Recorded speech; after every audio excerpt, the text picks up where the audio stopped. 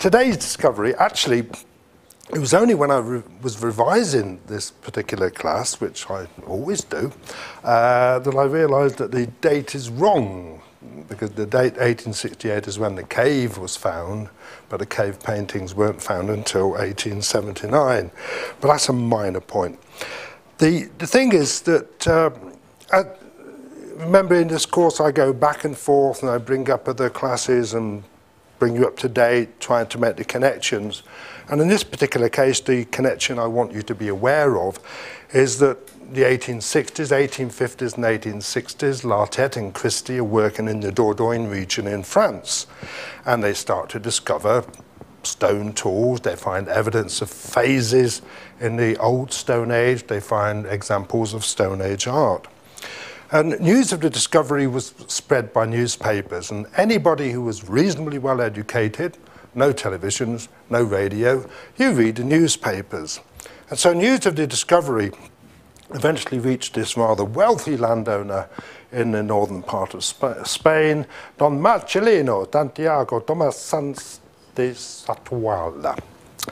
He owned a large area of land in the north of Spain, an area of land known as Altamira. It's very high up. Altamira means high, to see from a high place. And it was an area of limestone, just like Lartet and Christy were working in, in the Dordogne region. So he decided, well, this is the possibility, the chance that I might be able to find the same type of thing that they're discovering. So he started to look around his land, and then he heard from the local villagers that a hunter had found a cave on the site in just before 1868. It's the usual story in many ways. A dog disappears down a rabbit hole, the hunter follows the dog and finds himself in a cave. So Don Marcelino decided to find out where the cave was, and it was in a deep valley on the edge of his land. It's actually just over here. And the entrance was completely covered with trees and with soil and things like that. He started to dig inside the cave, uh, right at the very entrance, but all he found were lots of animal bones. But looking at the animal bones, he's a farmer, he can see that these are not animal bones of any animals alive in his day. No horse bones, or no cow bones, or sheep bones, or anything like that. And so he decided to send him off, them off to the professor of paleontology at the University of Madrid, Juan Villanova y Piera. Well, when y Piera got hold of this material, he was absolutely astounded because he could see that the bones were those of animals that were either completely extinct, like the wild horses, uh, the, the, um, the, the mammoth, that sort of thing, or of animals that no longer lived in Spain, reindeer, ibexes and things like that. So he, he found, he realized immediately that this is the type of material that Lartet and Christy were finding at the La Madeleine cave site. So it must be of the same approximate period. But more interestingly was that he found a group of animal bones, bones of extinct animals which had been split open.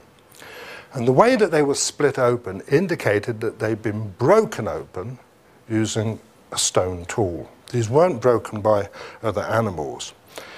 He knew what this represented. Inside all bones is this lovely red stuff called marrow. Mm-hmm.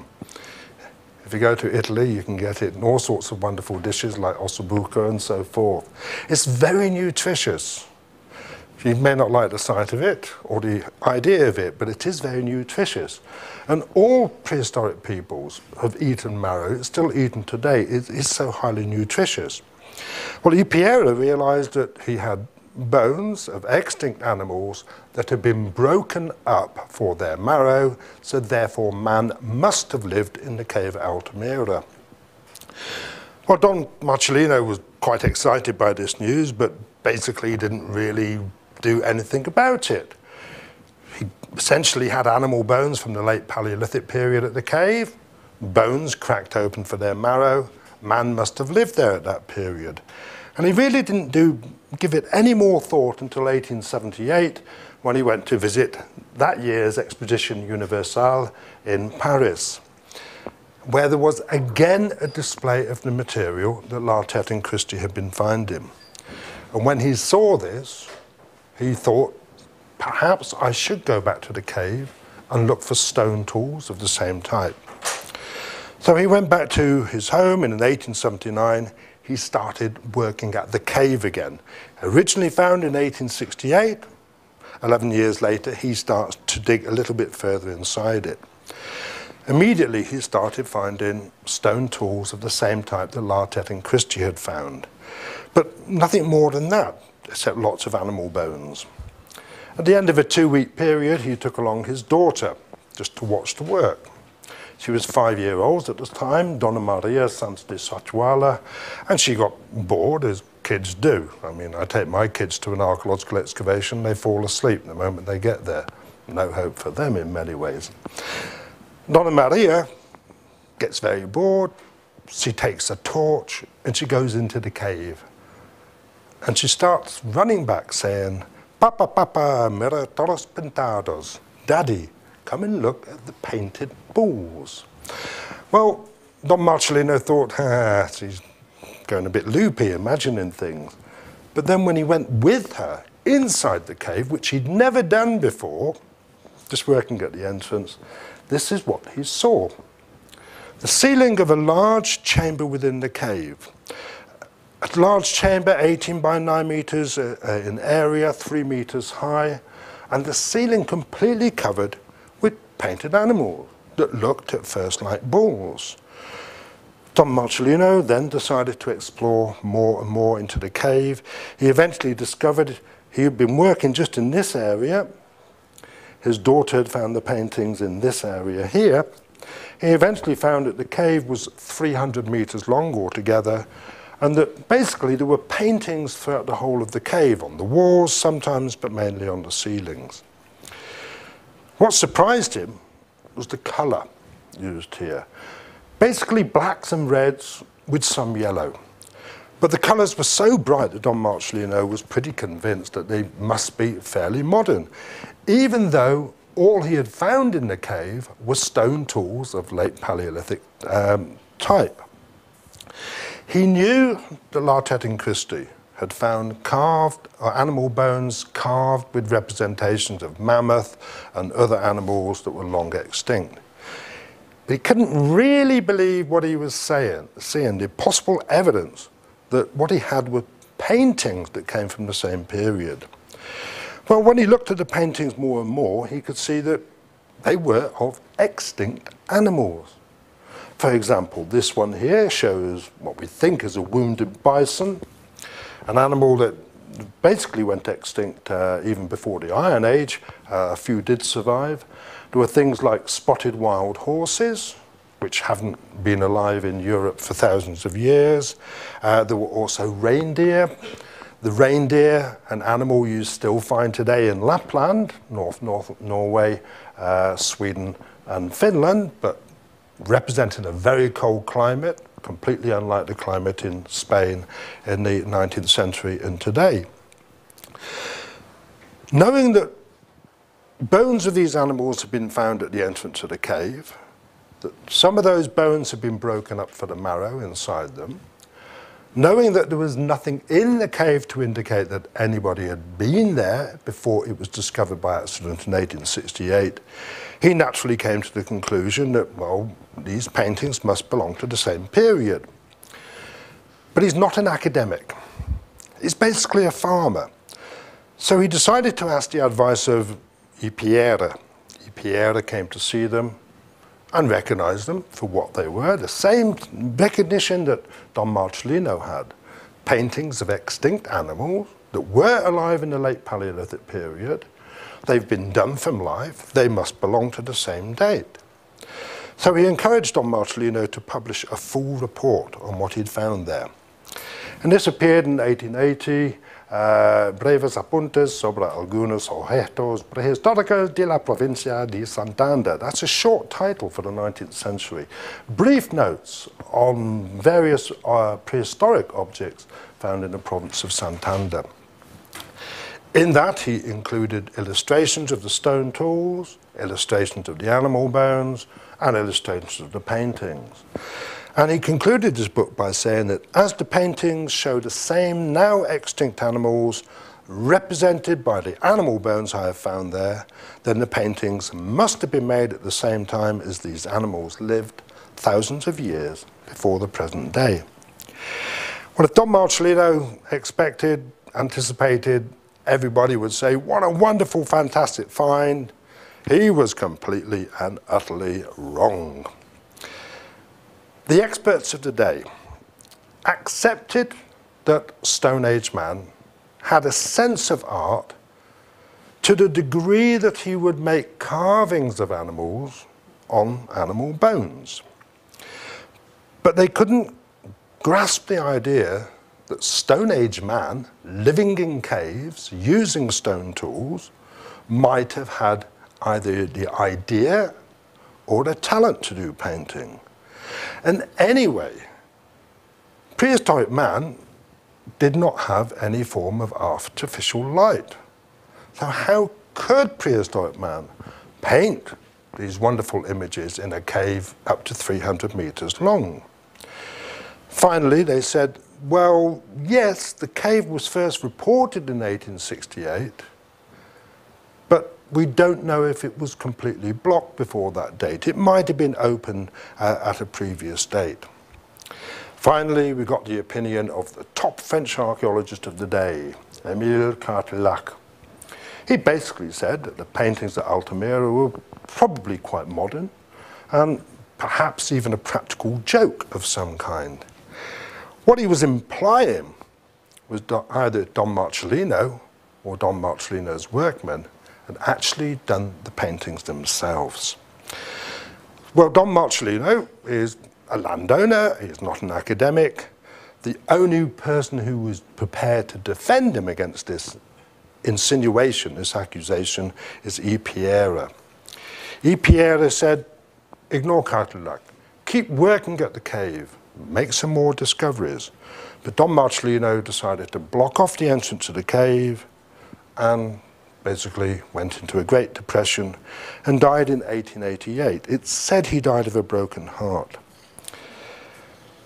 Villanova y Piera, however, continued to fight for the academic recognition of Don Marcelino's discoveries at Altamira.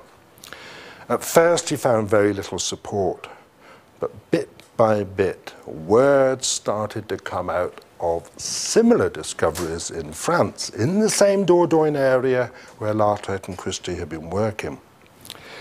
The earliest of these discoveries was basically a simple carving on the wall of a cave made in 1883. The archaeologist who discovered this decided not to say anything about it at the time. He knew what had happened to Don Marcelino when he had announced his discovery, and this young archaeologist thought, well, if I go around saying I found evidence of cave art from the Paleolithic period, I'll never get a job anywhere, while Cartailhac is still alive and head of archaeology in France. But then in 1895, another carving of a bison was found in another cave in France, La Mouthe Cave. Now, the archaeologist who found this had discovered the cave by accident. He knew there was no way that the carvings inside the cave could have been made in modern times. The cave entrance was covered with rock and soil containing Roman and later pottery. So nobody could have done it in later times. It had to be prehistoric in date. Then in 1897, a completely new cave was discovered at Marsoulas, also in France. This had paintings like the one at Altamira. More to the point, it had two phases of painting. You can see here, you have a representation of a, a bison, you've got a wild horse over there, but you can see these later very schematic paintings done in red, which are over these paintings. So two phases of uh, cave paintings there. More analysis of the La Mouthe cave, exploring further and further inside this, discovered similar paintings, and even more importantly, this. It's only about five or six centimeters long. It's a pottery lamp. It's the type of thing that prehistoric man could have used to provide light inside a cave. And modern experiments have shown that using a simple lamp like this with a suitable oil will give you enough light to read a newspaper deep inside a cave. So several of these lamps will give you enough lamp, uh, light to paint the cave. La Mouthe Cave had nothing in it after the late Paleolithic, so it had to be late Paleolithic.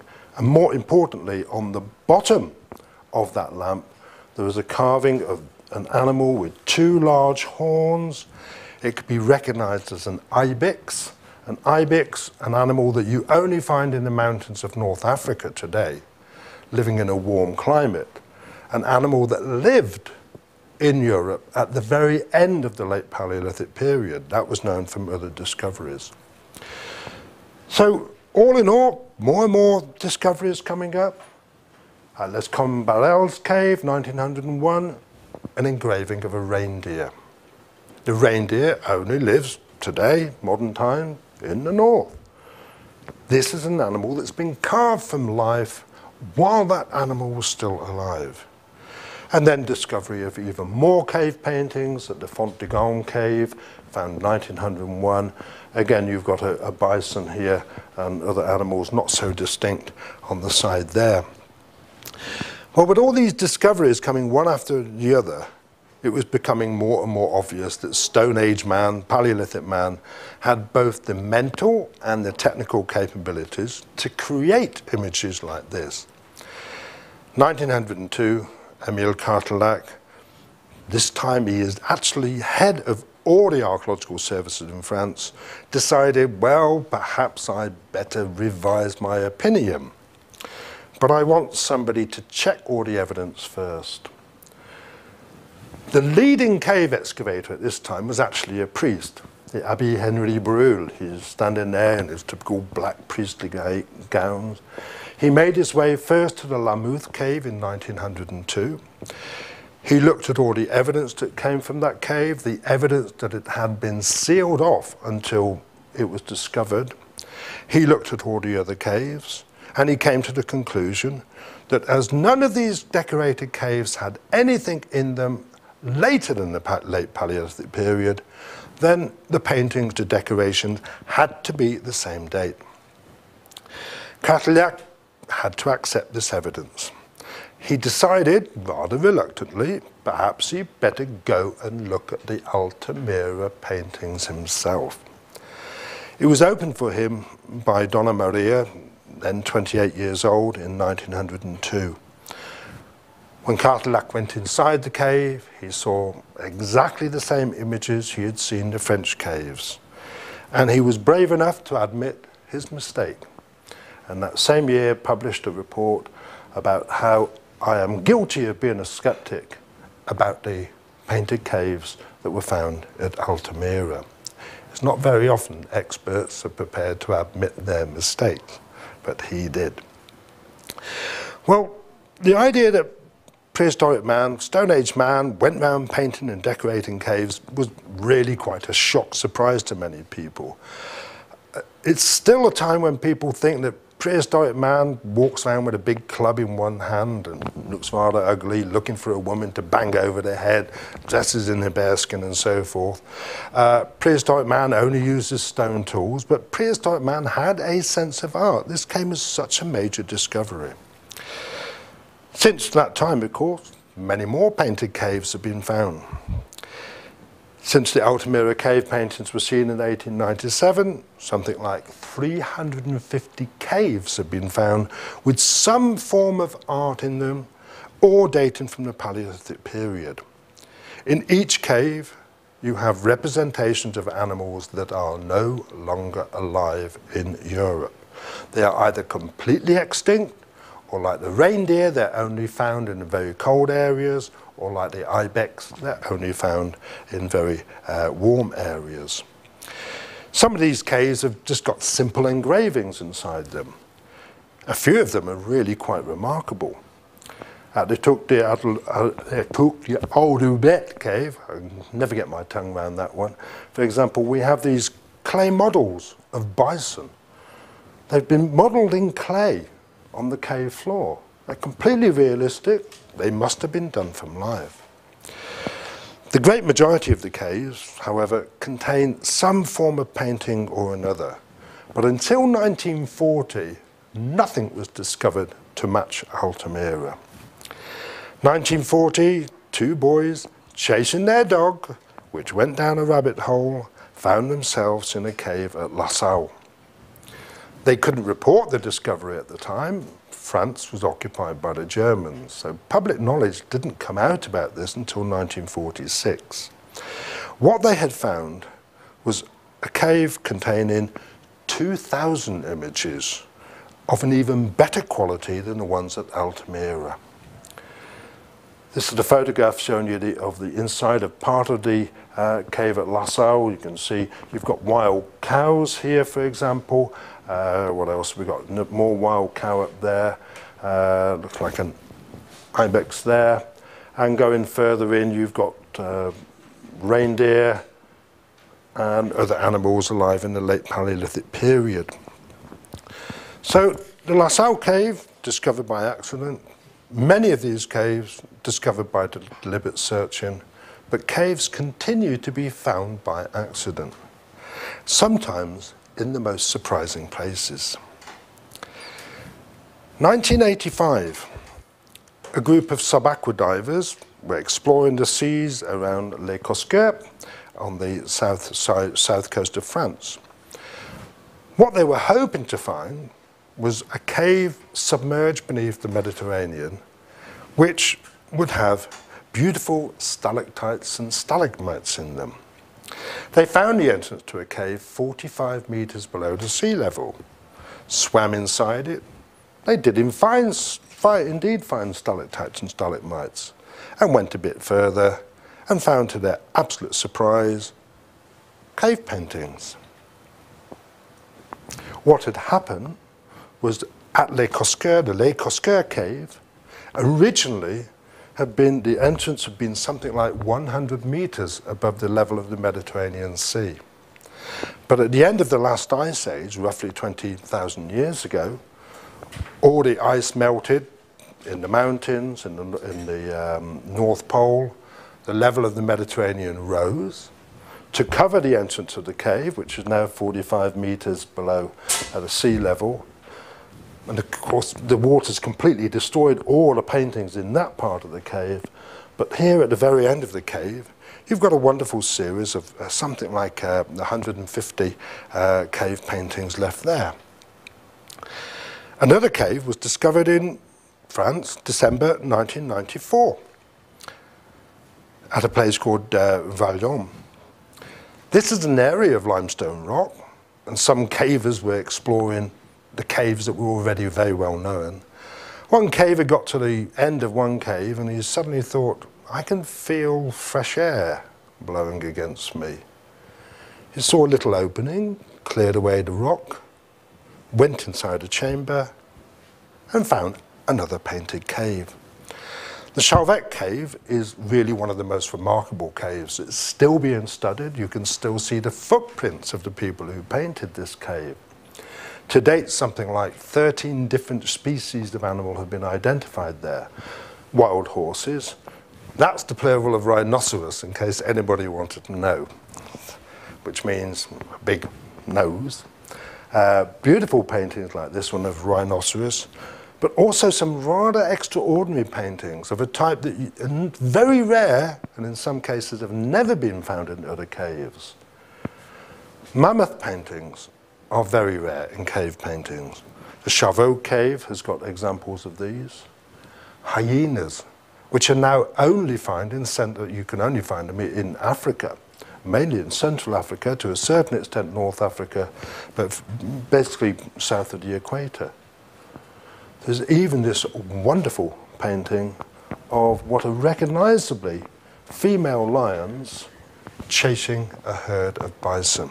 A type of painting which is unique in prehistoric cave art.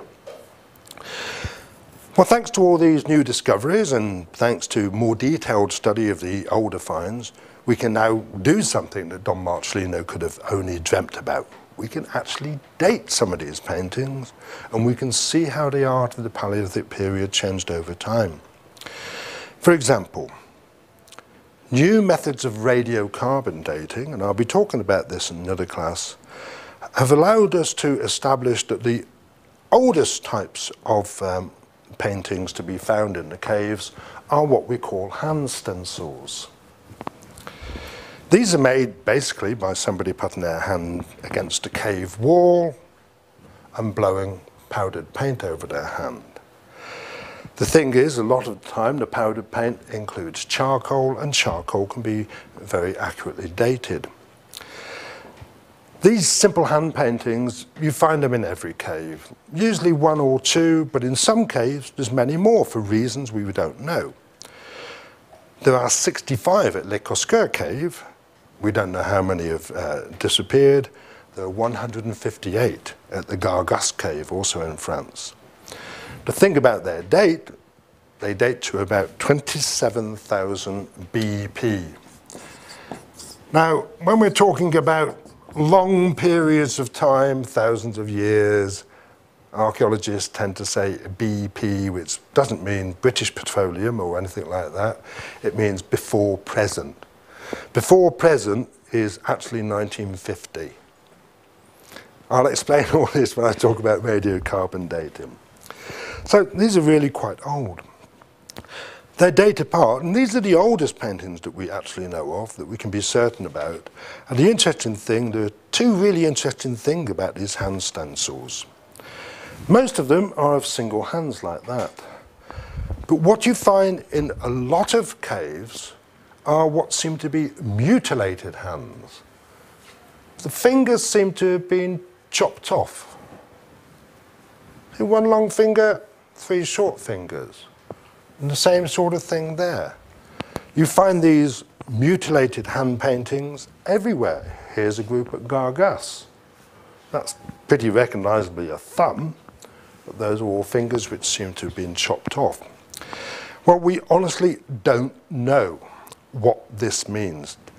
Does this really mean that there are large numbers of people going around in the Paleolithic period missing fingers, which is quite possible, or could it actually be that they represent sign language, which is also possible.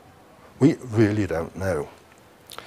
That apart, the other interesting thing about these hand stencils is what they seem to tell us about a common feature in modern man, the difference between right-handed and being left-handed.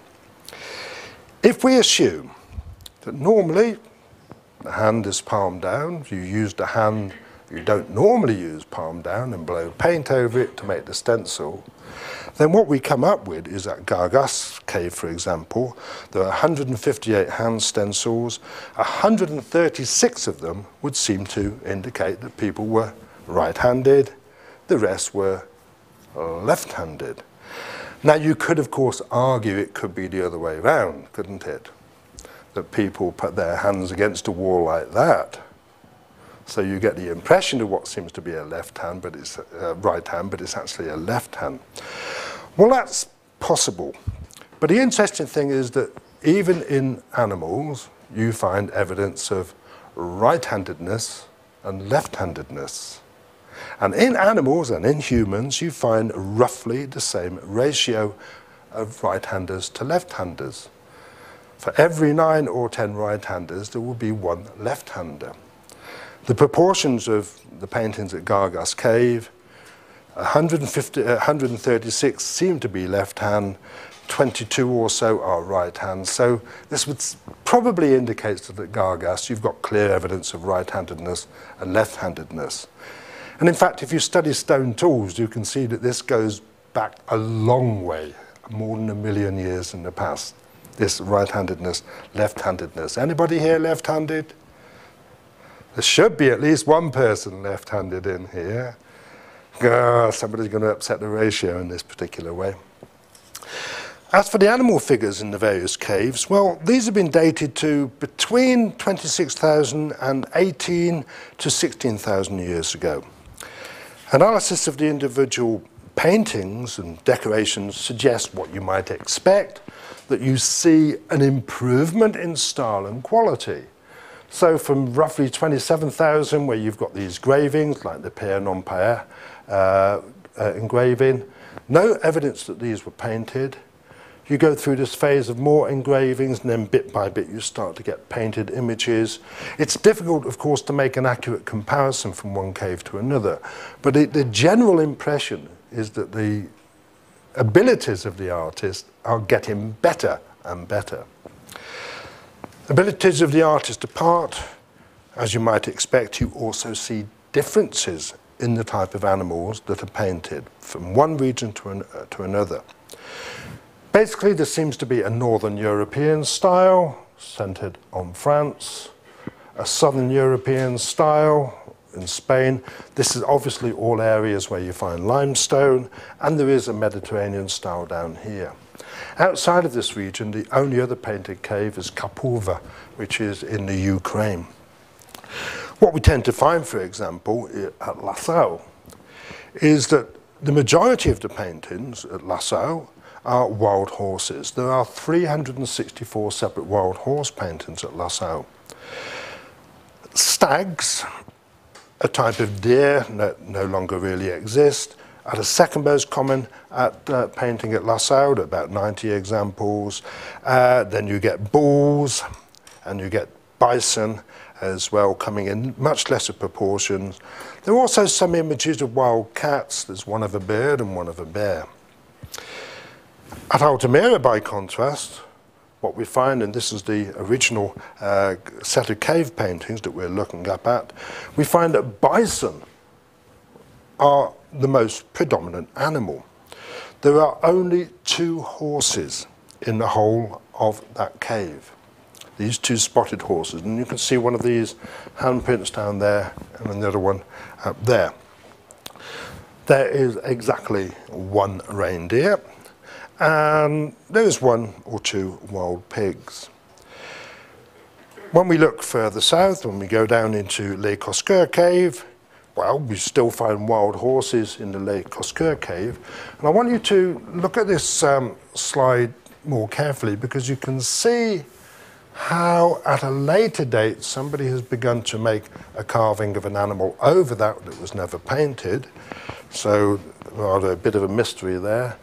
You also find stags again at Le Cosquer cave. And rather surprisingly in one sense, but not surprisingly in another, paintings of local sea life. This is a great auk.